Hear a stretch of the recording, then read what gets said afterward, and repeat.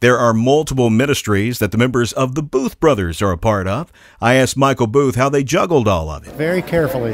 yeah, we have a master calendar that is that is really. It, it looks like you took crayons and threw it up against a wall.